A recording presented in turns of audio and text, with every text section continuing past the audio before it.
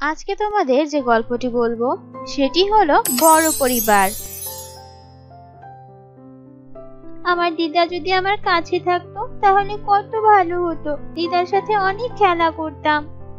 আমি বুঝতে পেরেছি আমার মায়ের অনেক অভিমান হয়েছে। আমি সব দূর করে দেব মা। আমরা এই সানডেতেই ঘুরতে যাব আর অনেক মজা করব। কেমন? তুমি সত্যি বলছো মা? হ্যাঁ আমি সত্যি বলছি।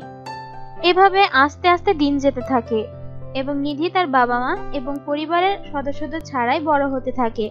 নিধির মনে অনেক আক্ষেপ থাকে যে তার বাবা মা থাকতেও তার সাথে থাকে না এবং তার পরিবারের অন্যান্য সদস্যরা থাকা সত্ত্বেও সে একা থাকে। সে বাইরের বাচ্চাদের দেখতো আর সবসময় মন খারাপ করত। আস্তে আস্তে নিধির বিয়ের বয়স হয়ে গেল। একদিন নিধির মা নিধিকে বলল, মা, তোর তো এখন অনেক বয়স হয়েছে। এবার তো তোকে বিয়ে করতে হবে।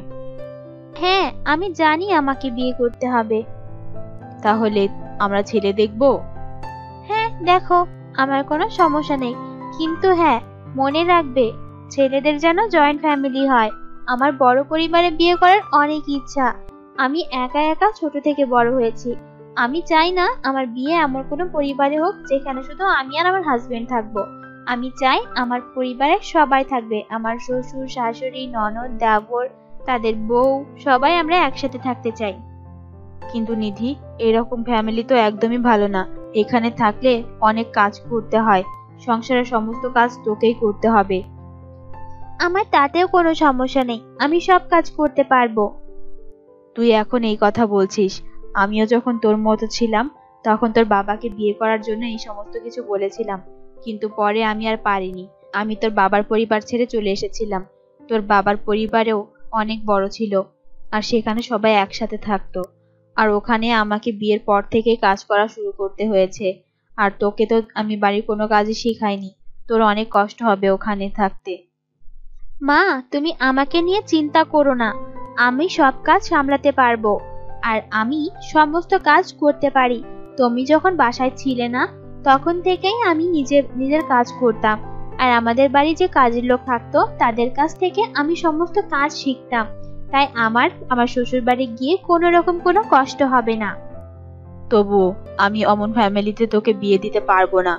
তোকে কোনো ছোট পরিবারে বিয়ে দেব যারা অনেক বিত্তশালী হবে। আমি অমন পরিবারে বিয়ে করতে চাই না। যদি আমাকে বিয়েই দিতে চাও তাহলে বড় পরিবারে দাও। আর না হলে আমি কোনোদিনও বিয়ে করব না। নিধি জেদ করিস না আমার কথা শোন। আমি তোমার কোনো কথা শুনতে চাই না। হয় আমার কথা শোনো আর না হলে আমি কোনোদিনও বিয়ে করব না।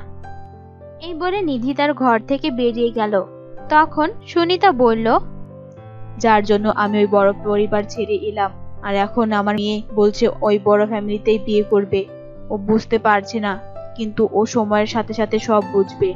বড় ফ্যামিলিতে বিয়ে করা চারটিখানি কথা নয়। কিন্তু কি করব?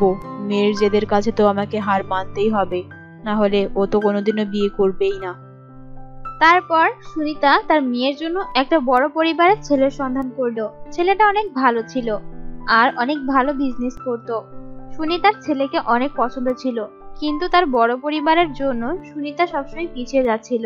কিন্তু সুমন এই পরিবার অনেক পছন্দ করত, তাই সুমনের জন্য সুনিতাকে রাজি হতে হয়।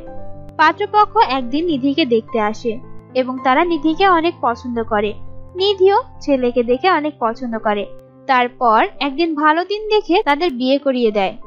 আর নিধি সেই পরিবারে গিয়ে বাড়ির সব কাজ করা শুরু করে এবং সে তার মায়ের মতো কখনোই অভিযোগ দেয় না। একদিন নিধি বেড়াতে এলো নিধির বাবার বাড়ি। তখন নিধির দিদাও এলো সেখানে। সুমন খুবই খুশি ছিল তার মাকে দেখে। কিন্তু সুনিতা একদমই খুশি ছিল না।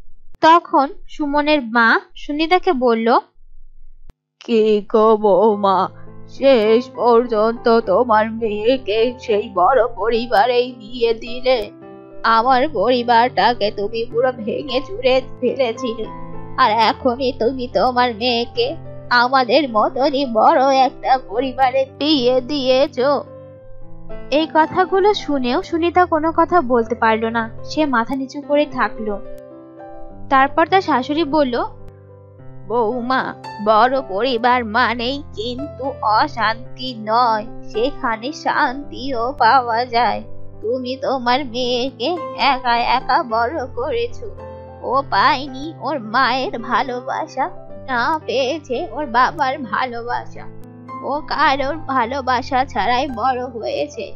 যেটা তুমি কখনোই বুঝতে পারোনি। তুমি তোমার ক্যারিয়ার নিয়ে সব সময় ভিজেছিলে একবারও তোমার মেয়ের দিকে খোঁজ খবর নেওয়ার চেষ্টাও করনি। আমি আজ খুশি হয়েছি যে আমার নিধি দিদি ভাই ও একটা বড় ফ্যামিলিতে বিয়ে করেছে। অন্তত ওর বাচ্চাকে এমন অবহেলায় বড় হতে হবে না। তাই মা, বলছি কি? বড় পরিবার মানেই কিন্তু অশান্তি নয়। এখানে শান্তিও পাওয়া যায়।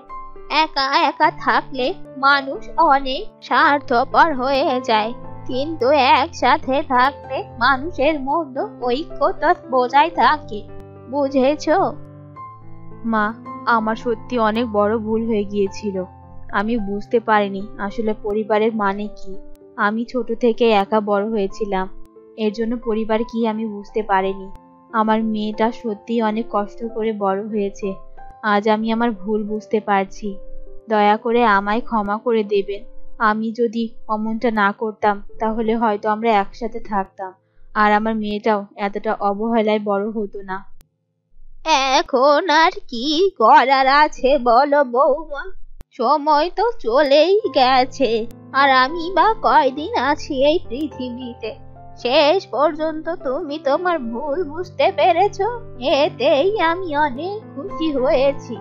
কিন্তু এখন আর করার কিছু নেই। তোমার যাবার পর থেকেই আমার সব ছেলের বউয়েরা আলাদা হয়ে গেছে। আর তারপর আমার পরিবারটা পুরো ভেঙে গেছে গো বৌমা। যাই হোক, তুমি এমন ভুল আর কখনো করো না যেন। বুঝলে তো? হ্যাঁ মা, আমি বুঝতে পেরেছি। আপনি আমায় ক্ষমা করুন, তাহলেই হবে। আর এখন আমার পাপের প্রাশ্চিত্য করতে দিন। আজ থেকে আপনি আমাদের সাথে থাকবেন। আমি আর কখনো আপনার সাথে খারাপ ব্যবহার করব না। আপনি যতদিন এই পৃথিবীতে আছেন, ততদিন আমরা একসাথে থাকব। যাক, শেষ পর্যন্ত দিদার আর মায়ের মিল হলো। আমারও খুব শান্তি লাগছে। শেষ পর্যন্ত তোমরা একসাথে হতে পেরেছ। এই ছিল আজকের গল্প বড় পরিবার। আশা করি তোমাদের ভালো লেগেছে। ভালো লাগলে অবশ্যই লাইক করবে এবং কমেন্টের মাধ্যমে তোমাদের মতামত জানিয়ে দিবে। আর তোমরা যদি আমাদের চ্যানেলে নতুন হও, আমাদের চ্যানেলকে সাবস্ক্রাইব করে পাশে থাকে বেল আইকনে ক্লিক করবে। তাহলে আমাদের চ্যানেলের আপডেট ভিডিও সবার আগে তোমার কাছে পৌঁছাবে। ধন্যবাদ।